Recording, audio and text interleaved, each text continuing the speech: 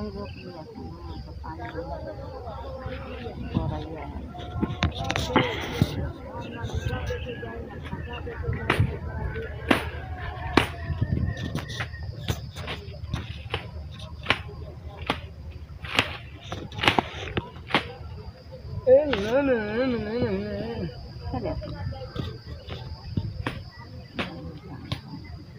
गाना कर दोगे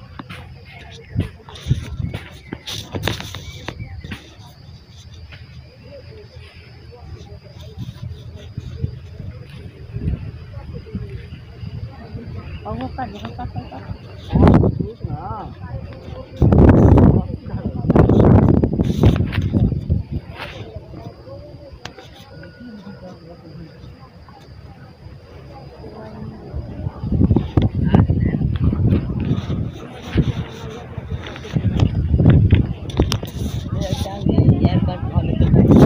अब काट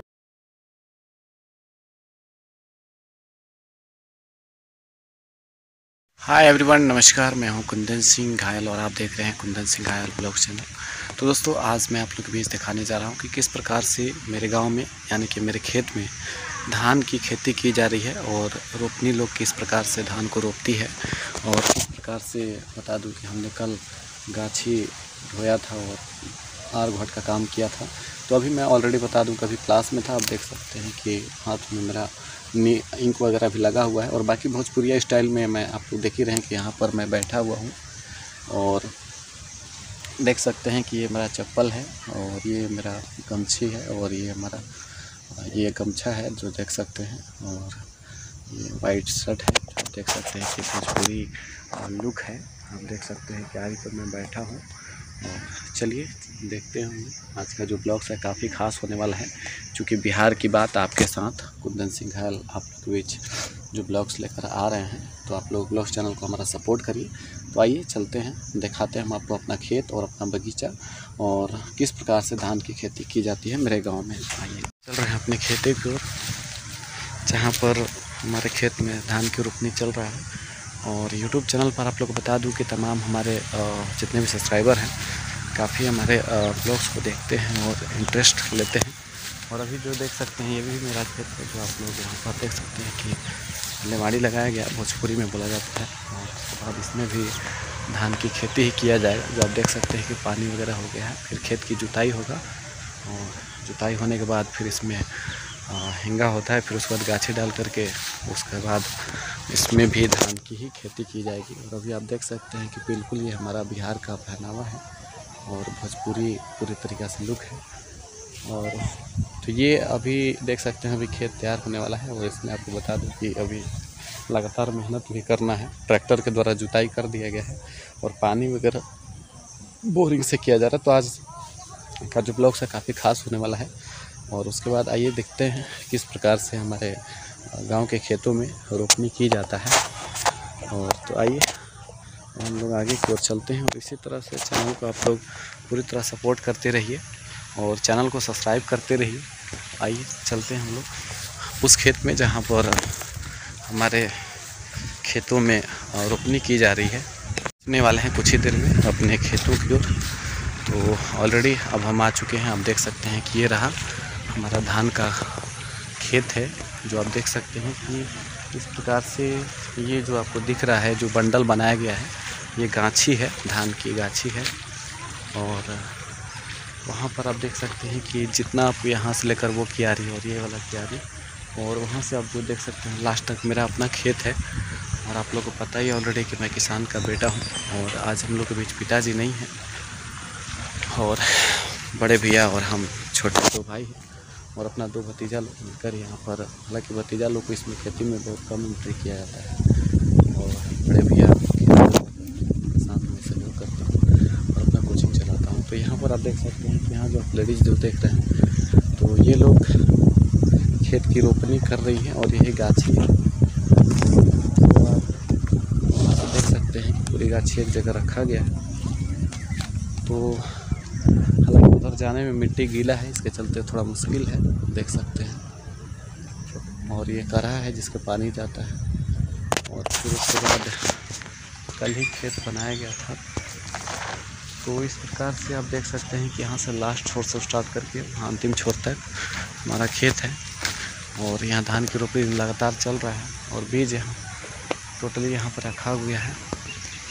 और आइए अब चलते हैं हम बगीचा की ओर। यहाँ तो आप लोग को दिखाई दिए कि वहाँ जितने भी लेडीज़ लोग हैं धान की रोपनी कर रही इसी बंडल से गाछी को निकाल करके एक एक धान को रोपा जाता है और फिर उसके बाद इसमें खाद वगैरह मारा जाएगा तो ये एक से दो दिन के अंदर पूरी तरीक़ा से हर हरा भरा हो जाएगा और जड़ पकड़ लेगा।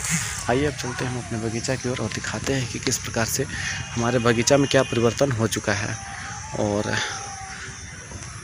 खाना चाहेंगे जो हमारे प्राचीन सभ्यता के अनुसार बिहार के गाँव में जो रोपनी लोग होती हैं, हालाँकि हमारे यहाँ तो रोपनी लोग होती हैं, लेडीज़ लोग ही हमारे खेतों में रोपती हैं और नॉर्थ बिहार यानी कि उत्तरी बिहार साइड में अधिकतर आप देखेंगे कि वहाँ जेंट्स लोग खेत की रोपनी करते हैं, यानी उसको रोपना बोलते हैं और यहाँ जो रोपनी लोग होती हैं, गाँव के ही आसपास के लोग होती हैं, जो कि अभी देख सकते हैं आप लोग को एक गीत सुनाई दे रहा है। ये जो गीत होता है हमारे बिहार की प्राचीन सभ्यता की धरोहर है और जो रोपनी लोग होती हैं, पुराने गीतों के साथ खेत की रुपाई करते हैं और उसी तरीक़े से अगर सावन का महीना भी चढ़ चुका है और सावन के महीना में आपको पता ही है कि थोड़ी थोड़ी बारिश होता है और उसके क्रम में हल्की धूप निकली होती है और उसी क्रम में अगर रोपनी लोग अपने पुराने सभ्यता यानी हमारी बिहार की संस्कृति है, जो गीतों के साथ खेतों को रुपाई करते हैं। सबसे पहले तो खेत की रुपाई होने से पहले खेत का पूजन होता है और वहाँ पर भंडार कोना पर रख करके, वहाँ अगरबत्ती जला करके जिस प्रकार से पूजा होता है, प्रसाद वितरण करने के बाद ही खेतों में यहाँ पर आगे की ओर खेती की जाती है। तो ये देख सकते हैं कि बिहार में किस प्रकार की आज भी परंपरा जो है बना हुआ है और गीतों के साथ यहाँ पर आप खेतों में देख सकते हैं कि धरती हमारी माता है और अन्नदाता है। तो इसी की वजह से हम लोग माता धरती का भी हम लोग पहले पूजा होता है उसके बाद ही स्टार्ट किया जाता है धान की रोपाई।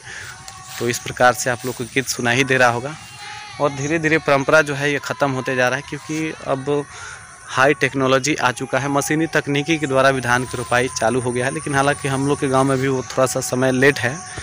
लेकिन अभी आ, कई जगहों पर मैं जाकर देखा हूँ तो अधिकतर वहाँ पर धान की जो रोपाई है आपको टेक्नोलॉजी के द्वारा यानी ट्रैक्टर में जिस प्रकार से मशीनी तकनीकी के द्वारा भी वहाँ पर खेत की रोपनी स्टार्ट कर दिया गया है। लेकिन यहाँ पर अभी आप देख सकते हैं पूर्णतः एक बिहार की गाँव की जिस प्रकार से खेती की जाती है तो वो चीज़ें आप लोग को देखने को मिलता है। अब चलिए हम दिखाते हैं। अपने सावन के इस महीने में भगवान भोलेनाथ का भी आपको पता ही होगा आप लोग का कि सावन पूरा महीना मीट मछली वगैरह कोई नहीं खाता। है ऐसे तो मैं बहुत पहले ही मीट मछली वगैरह त्याग दिया हूँ।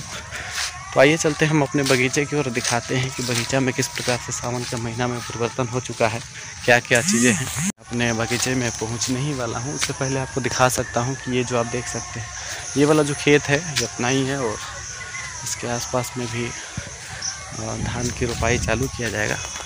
थोड़ा सा इधर भी दिखा देते हैं आप लोग को।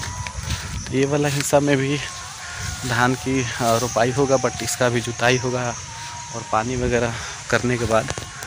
और वहाँ देख सकते हैं, छोटा सा बगीचा भी हमारा गार्डन है, जो पेड़ पौधा लगा हुआ है पूरी फाइनली।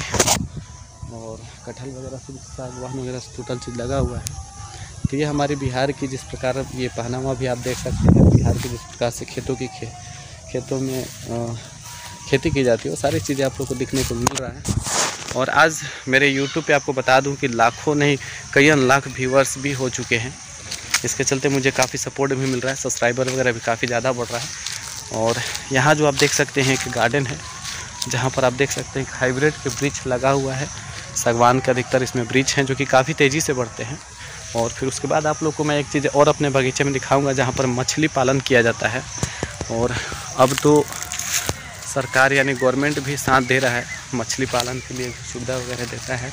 तो वो तालाब है, तालाब में मछली पालन किया जाता है। हम दिखाएँगे आप लोग को कुछ ही दूरी पर है। तो सबसे पहले हम अपने बगीचे में दिखाएँगे कि किस प्रकार से हमारा बगीचा में है, किस प्रकार हरा भरा हो चुका है सावन के महीने में।